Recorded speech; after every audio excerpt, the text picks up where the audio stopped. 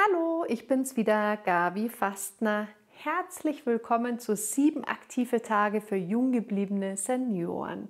Natürlich kannst du auch mitmachen, wenn du nicht im Seniorenalter bist. Wir werden alles trainieren, den ganzen Körper natürlich, aber auch unser Gehirn. Und ganz wichtig, um jung zu bleiben, vor allem unser Gehirn auch jung zu halten, ist es, neue Dinge zu tun. Immer wieder neue Dinge probieren, ausprobieren, sich zutrauen. Wenn was nicht ganz so klappt, dann ist das ja nicht so schlimm.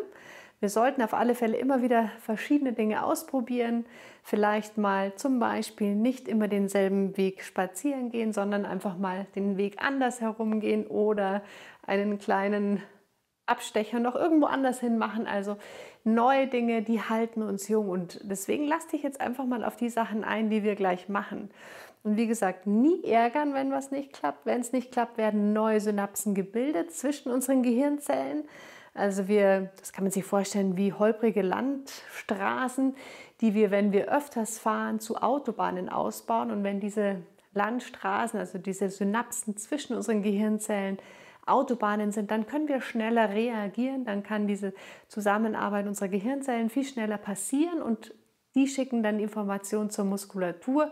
So werden wir reaktionsschnell und bleiben jung. Also einfach mitmachen. Wir werden heute alles Mögliche machen, aber wir beginnen jetzt erstmal im Stehen, ganz ruhig. Richte dich auf, atme ein paar Mal tief ein und aus. Ganz wichtig natürlich, richte dich auf. Aktiviere gleich deine Körpermitte, indem du den Bauchnabel ganz sanft nach innen ziehst. Schüttel dich ruhig so ein bisschen aus. Es macht dich auch vital und frisch. Denn wenn wir uns schütteln und rütteln, dann aktivieren wir unsere Rezeptoren innerhalb der Faszien. Also wir werden uns jetzt sieben Tage lang bewegen. Also ich hoffe, du bist dabei. Vielleicht lädst du auch noch jemanden ein, mitzumachen. Und diese Workouts dauern immer so circa 25 Minuten, dass du dir ungefähr dein Zeitfenster einrichten kannst. So, dann bleibst du stehen. Vielleicht hast du schon so ein leichtes Spitzeln in deinen Händen. Und jetzt nimmst du deinen rechten Arm. Ich mache spiegelverkehrt mit dir nach oben. Du schnippst oben, unten, oben, unten. Also probieren wir es mal einfach mal rauf, runter, rauf, runter. Wenn das klappt, dann ist es schon mal super. Dann werden wir schon mal Dopamin ausgeschüttet wir sind froh darüber, dass es funktioniert. Ganz wichtig, Glückshormone.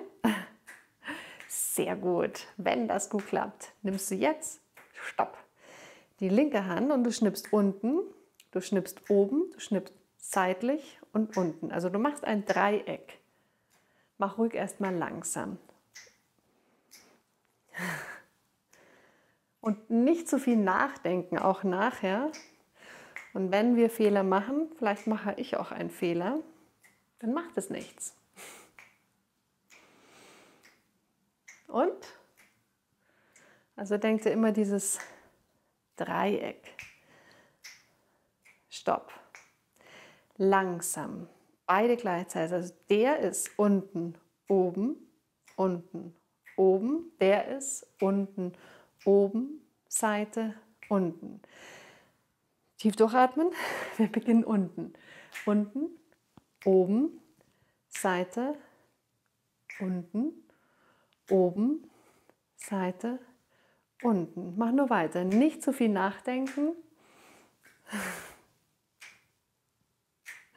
Konzentriere dich ruhig auf eine Seite erstmal. Und die andere, die macht einfach mit, oder?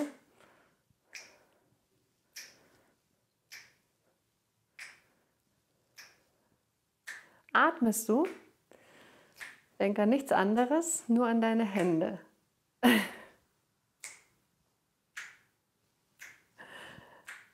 Und du wirst merken, je öfters, umso leichter wird es auch.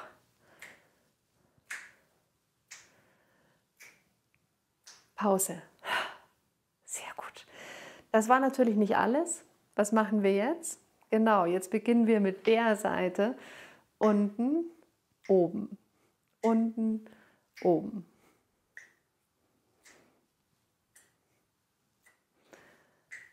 Glückshormone werden ausgeschüttet, wir freuen uns. Wir wissen aber schon, was kommt. Stopp. Unten unser Dreieck. Oben, Seite, unten.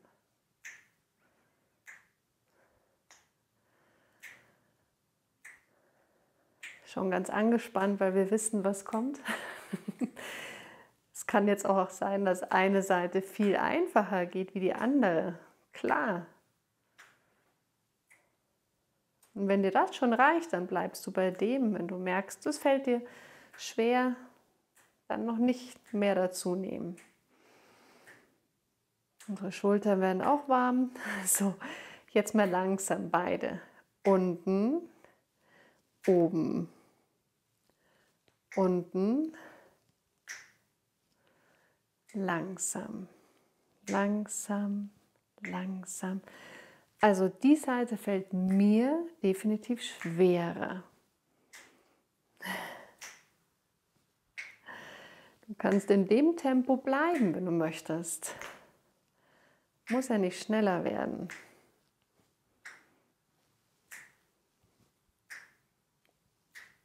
Oder du wirst so ein bisschen schneller.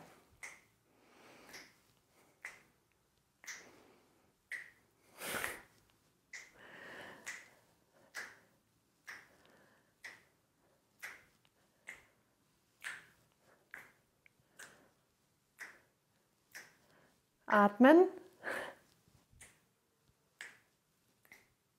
Und stopp. Geschafft.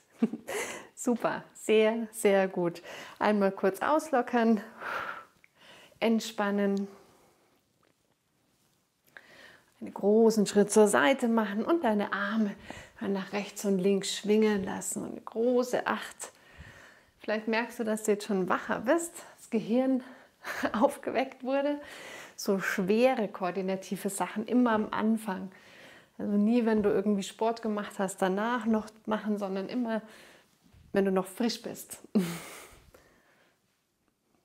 Mit der Bewegung haben wir auch schon beide Gehirnhälften dabei, weil wir über die Mitte kreuzen.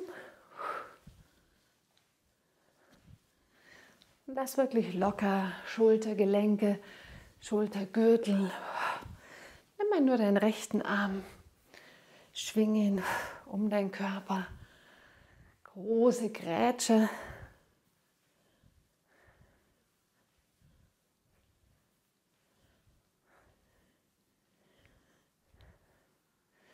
Wechseln.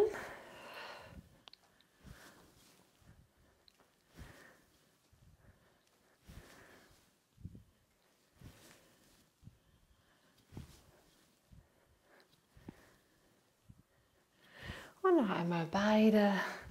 Und dann kommst du gleich in die Bewegung, verlagerst. Tippst außen auf und verlagerst ganz entspannt von der einen zur anderen Seite. Deine Fußgelenke mitnehmen, mit bewegen.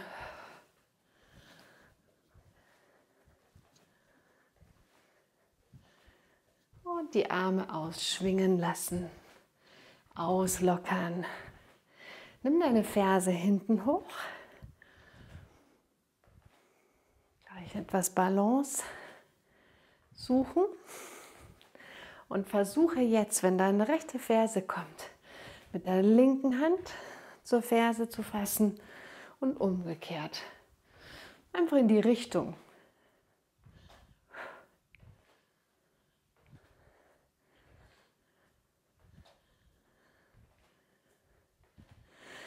Natürlich auch wieder unser Gehirn. Wir kreuzen Körperhälften.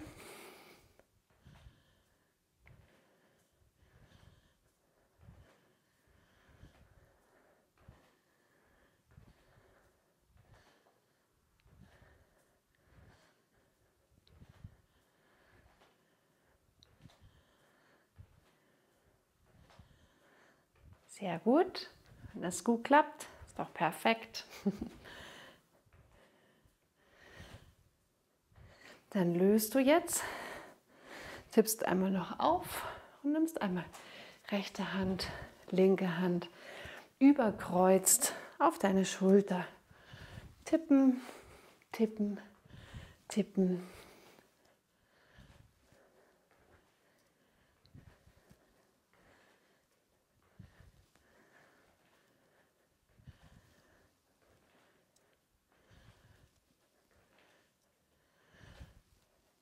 Mach nur weiter.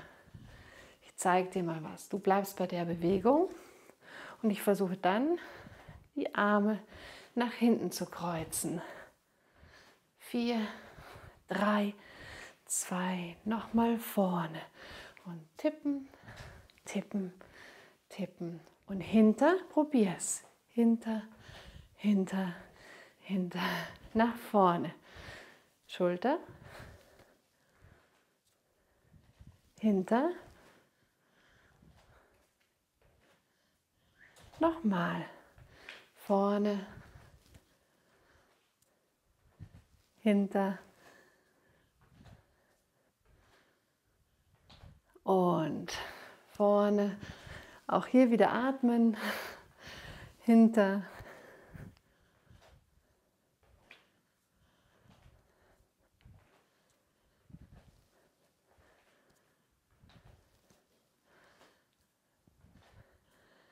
Ein letztes Mal noch vorne, hinter. Und nochmal tippen, locker lassen, kleiner werden, auslockern, vorne, Fußspitze, Fußgelenke bewegen, ist auch wichtig, dass die beweglich bleiben. Dann tippst du mit der Ferse. Ganz bewusst und immer in deinem Tempo Fußspitze ranziehen und die Ferse tippt nach vorne.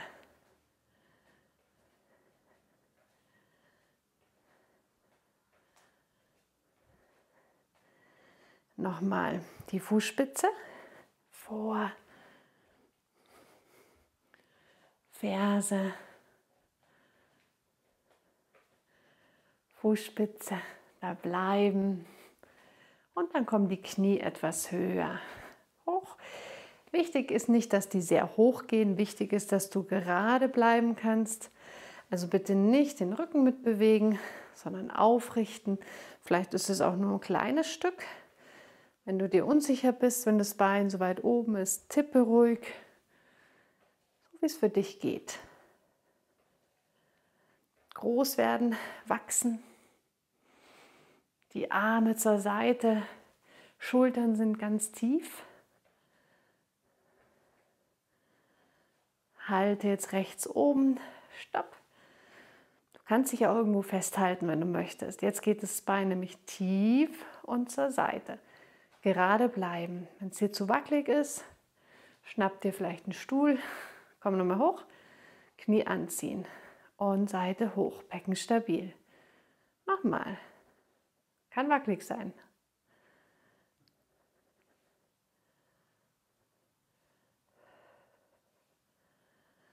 Versuche dein Fußgelenk immer noch zu bewegen, strecken, Ferse.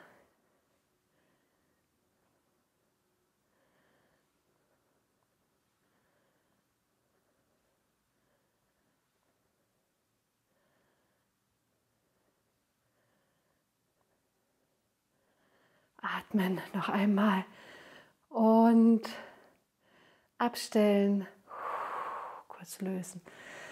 Bestimmt auch dein Standbein gespürt. Dann tippe jetzt ganz locker die Fußspitze vorne auf.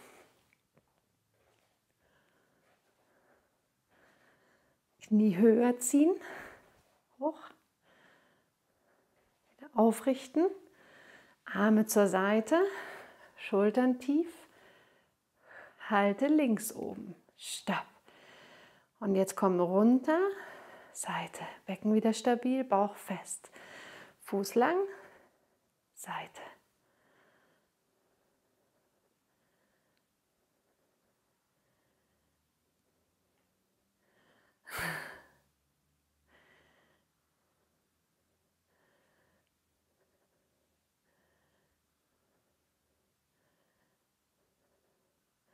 Standknie ist ganz leicht gebeugt.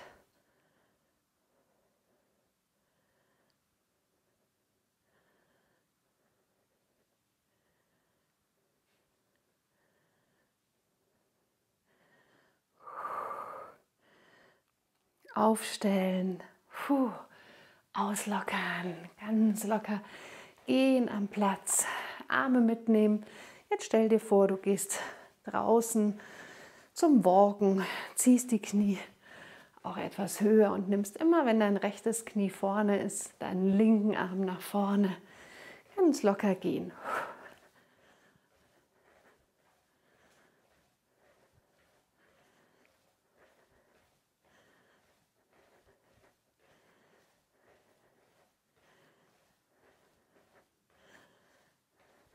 Beug die Knie noch etwas höher.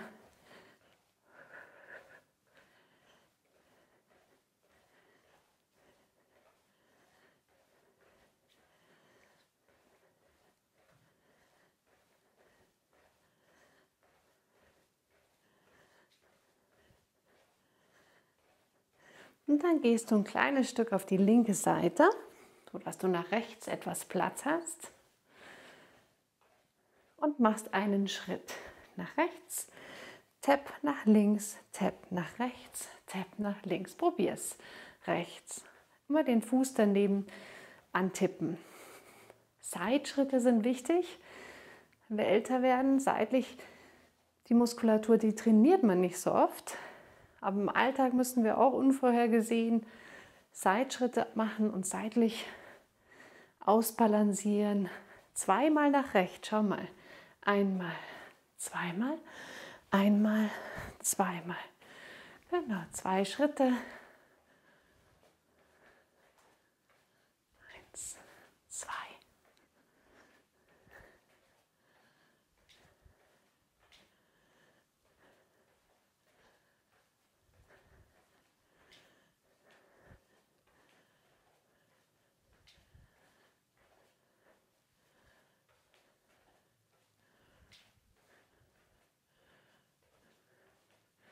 Kannst die Schritte einfach immer weitermachen, so wenn du möchtest.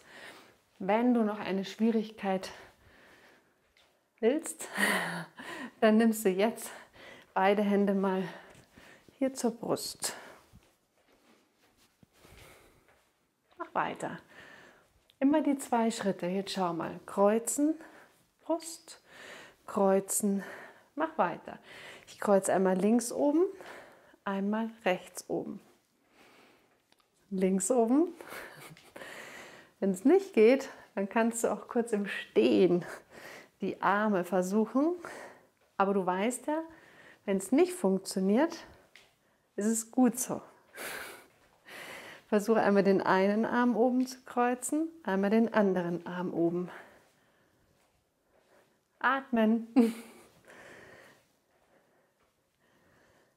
Ich weiß, die zwei Schritte sind schon herausfordernd oder?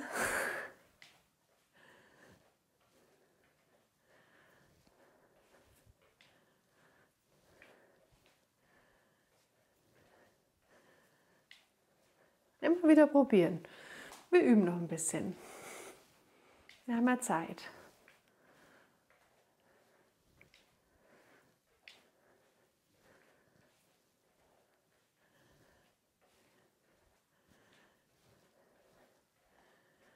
Und wenn du das Gefühl hast, es geht schon ganz gut, mach die zwei Schritte weiter. Dann machst du auf und geschlossen. Auf, geschlossen. Versuch vorne die Hände zu öffnen, hinten die Hände zu schließen. Eine Hand und die andere ist oben.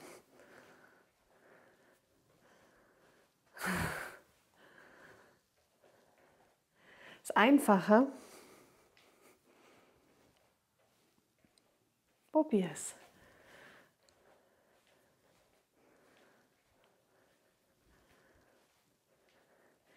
Dann müssen wir jetzt Beine und Arme so ein bisschen voneinander abkoppeln.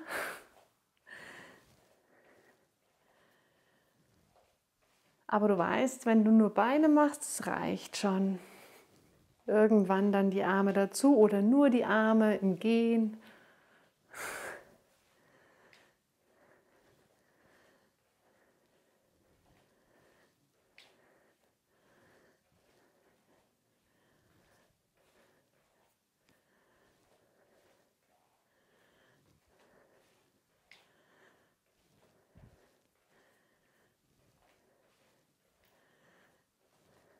Einmal hin und her. und locker lassen. Schüttel dich aus. Super. Locker die Arme und Beine aus. Und nimm ein Bein nach hinten. Wir dehnen. Das heißt, du lässt, lässt beide Fußspitzen in eine Richtung zeigen und schiebst dein Becken nach vorne, bis du die Dehnung hinten in der Wade spürst. Wirklich nach vorne schieben. Schultern zurück, kannst dich auch gern abstützen. Kniestrecken versuchen.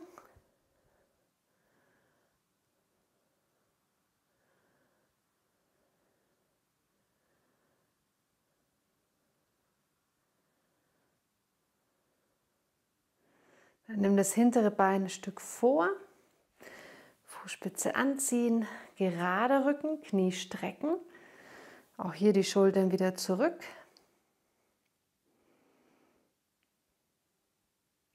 Die Dehnung Rückseite Oberschenkel. Schau nochmal, ob dein Rücken gerade ist.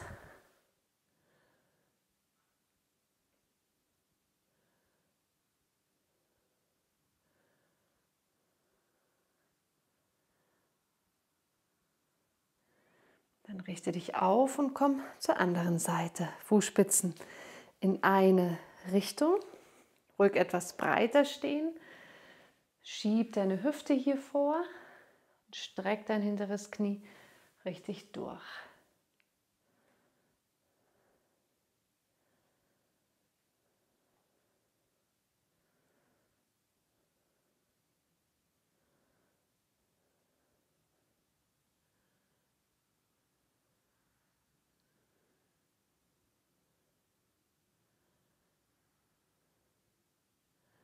Dann kommst du wieder zurück.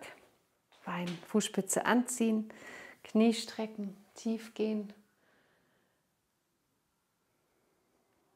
Was dich auch noch erwartet diese Woche ist Faszientraining, Kräftigung natürlich, Ausdauer, Mobilität, Rücken. Also sei auf alle Fälle dabei. Stück tiefer.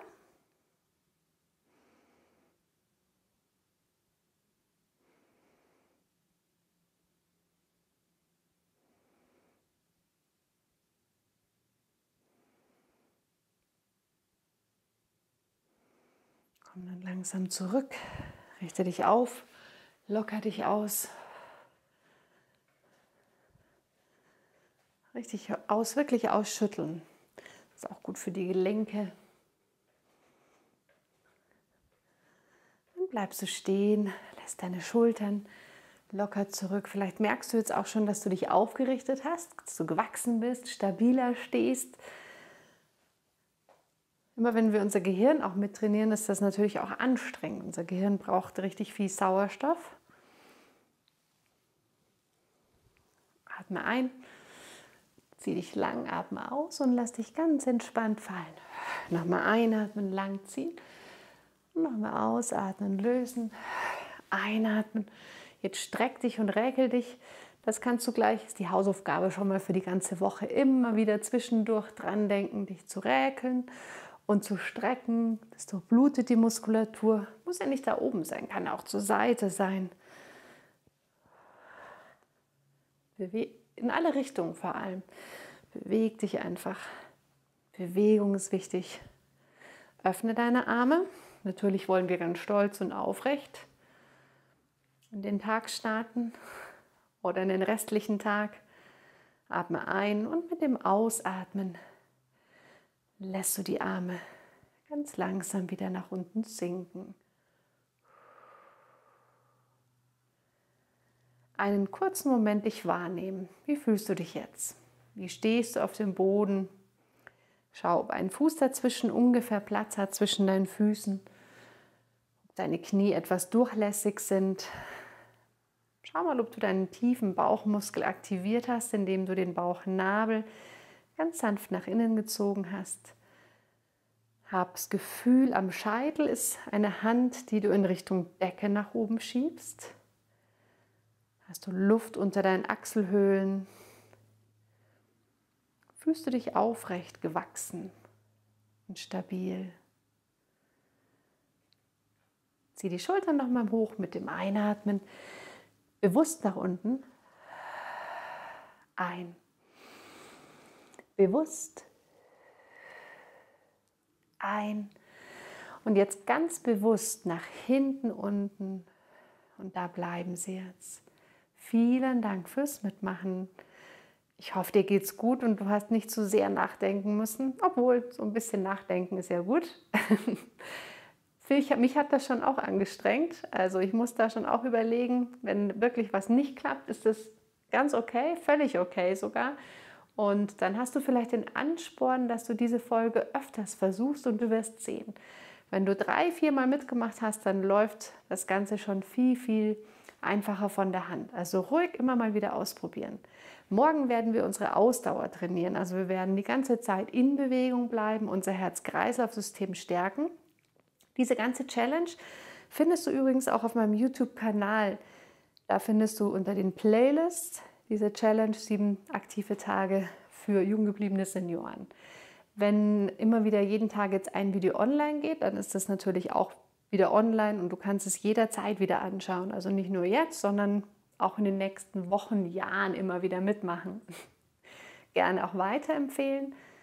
Wenn du mich noch nicht abonniert hast, mach das, ist kostenfrei. Dann bekommst du auch immer ein Info, wenn ich wieder ein neues Video auf YouTube geladen habe. Wenn du mich abonnierst, die graue Glocke drückst und auf alle klickst. Falls du Lust hast, meine Arbeit wertzuschätzen, mich zu unterstützen, vielen Dank. Der Link dazu, der ist unter dem Video. Der heißt Steady, deine Unterstützung. Kannst du mich mit zum Beispiel 2,50 Euro im Monat oder 5 Euro unterstützen. Vielen Dank.